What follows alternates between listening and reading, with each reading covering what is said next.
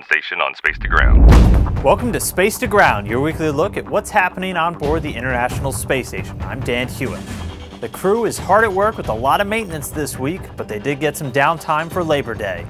Making the most of his day off, Reid Wiseman took to Twitter to share views of a few cities you might recognize. Equipped with one of the station's 800mm lenses, he was able to capture crystal clear views of Boston, Phoenix, Denver, and New Orleans. Follow Reid and maybe catch a glimpse of your hometown on planet Earth, check out at astro underscore Reid. A new experiment called Energy kicked off this week on board the station, and it's hoping to help fine tune astronaut workout and nutrition plans. It can be difficult for astronauts to maintain a good energy balance while in microgravity for long periods of time, and if things get out of whack, it can affect every aspect of their health. Knowing just how much fuel these space men and women need to keep going will help ensure they stay healthy while also letting us know how much food we need to send along something that will be even more important as we look to one day travel to Mars.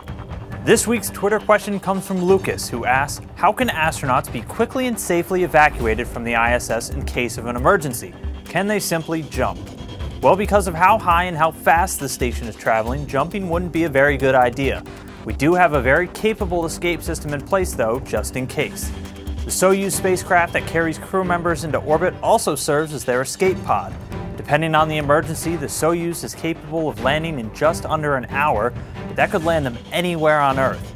If the crew is not pressed for time, the vehicle can stay in orbit for hours or days so they can pinpoint their landing at one of the approved sites around the world.